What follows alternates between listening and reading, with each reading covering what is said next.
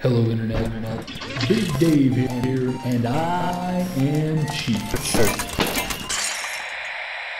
It's Friday, and that means it's time to fire up a free to play game here on Big Dave is Cheap. That's right, it's finally the debut of Free to Play Fridays. This is the regular series that will be eventually replacing the Weekend Roundup as my chance to talk with you guys in a sort of weekend review and vloggy fashion. But the main focus here is going to be to introduce you to free to play games. Since this was the first episode and I didn't want to have to talk too much about what game I was playing, I picked one that everybody knows, and of course, that is Team Fortress 2. So, wow, lucky shot right there on that spy. I will take it. That is why I spam grenades constantly, because every now and then you just hit a spy. Wonderful. So, besides playing cool free to play games, what else are we going to do on this show?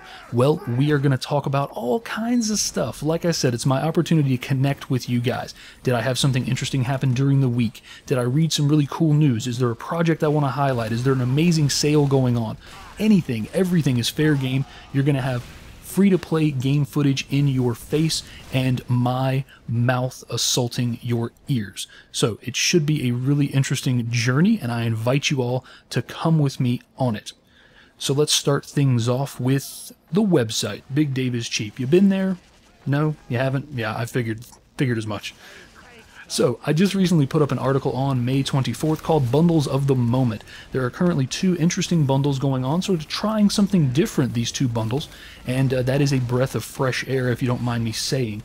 So, first up, we have Groupees, who you may know from Be Mine Bundle 1 and 2. They are coming at you with Build a Bundle. They have 12 games that you can select from. So go ahead and mix and match, get the games that you want, get the games that you don't already have pay what you want, asterisks, pay what you want up to a minimum.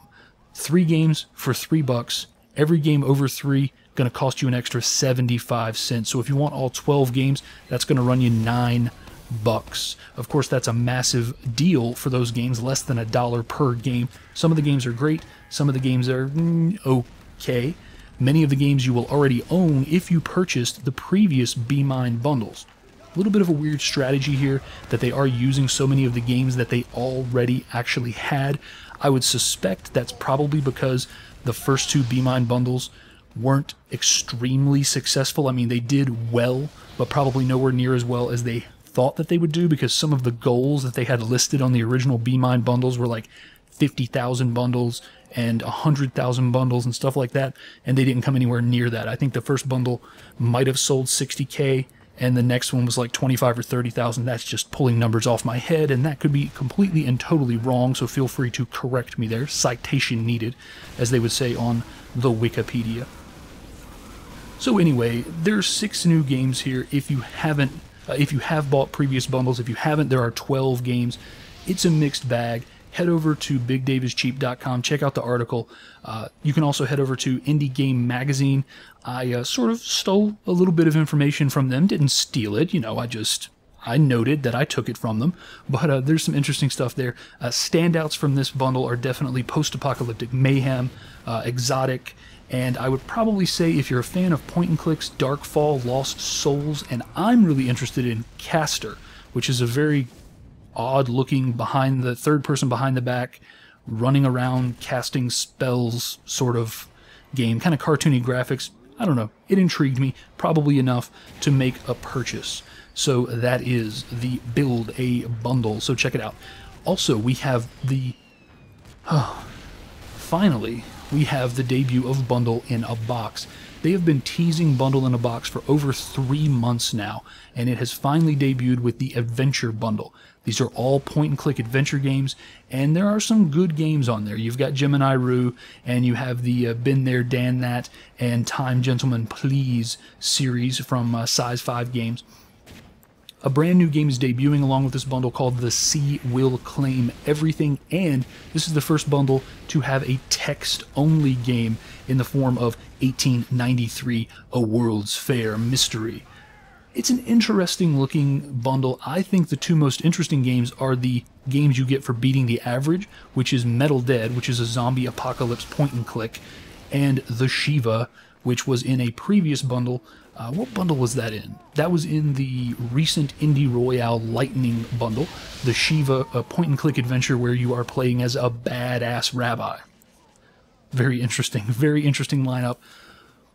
I do think Bundle in a Box made a little bit of a mistake with how long they teased this bundle because, frankly, by the time that they actually got down to debuting the bundle, I really wasn't all that interested. And I think that it kind of backfired on them. I mean, I, I hope that they get a good buzz because they're doing an amazing thing called the Indie Dev Grant, where for every 15,000 bundles they sell, they will put $2,000 into a grant fund. And then at the end of the bundle, they will give all that money to an indie developer selected by the public through a poll. So that's pretty darn cool, and I really think that if, if nothing else, they deserve your attention for that. I will buy this bundle, despite, again, not feeling so hot about the amount of time that they sort of left us hanging, waiting for this bundle to come out.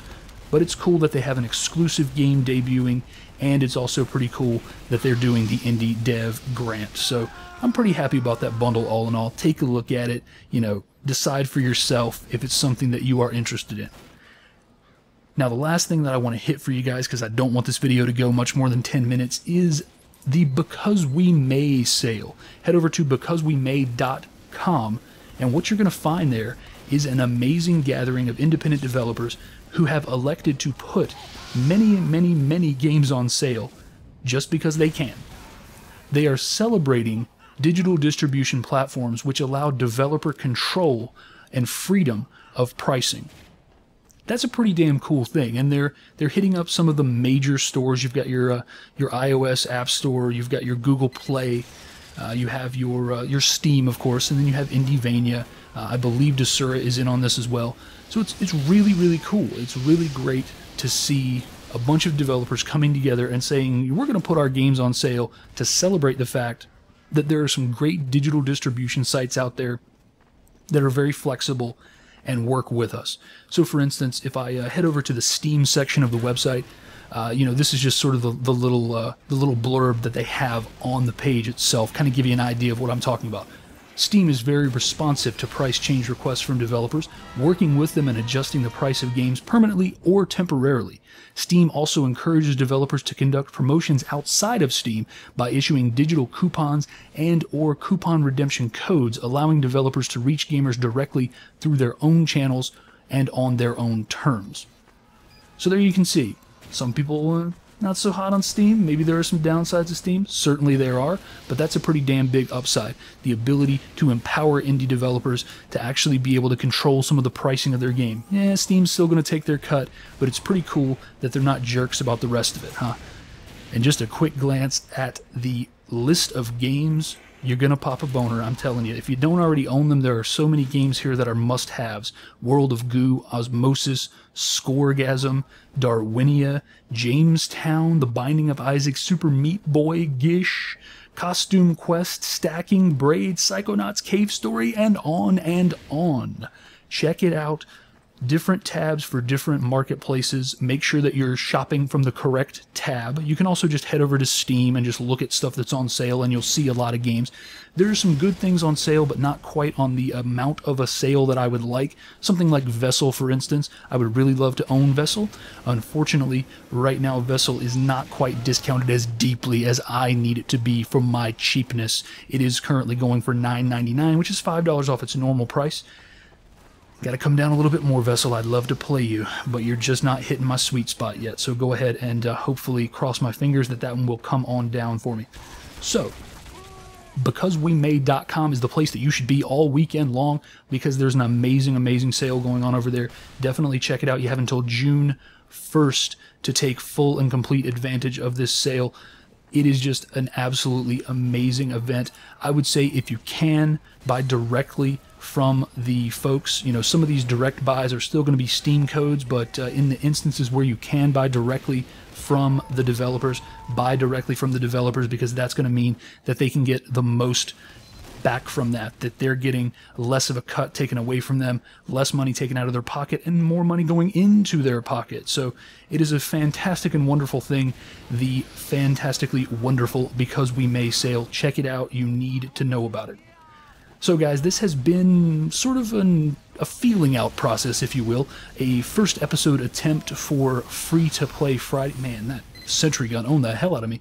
So it's a first a first attempt for free to play Fridays. I want this show to be conversational. I want it to be the sort of show where I can come on and I can talk to you guys about whatever. You know, if something's going on in my life, something's going on in the world of gaming. I want it to be that sort of chat show.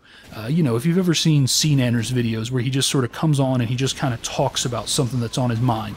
That's the kind of thing I want with a little more structure and a little more focus pointing towards free to play games. So we're going to play different free to play games every week. It's going to be an interesting experiment. Hopefully you'll go along with the ride for the ride with me. And uh, you, poor score there, God.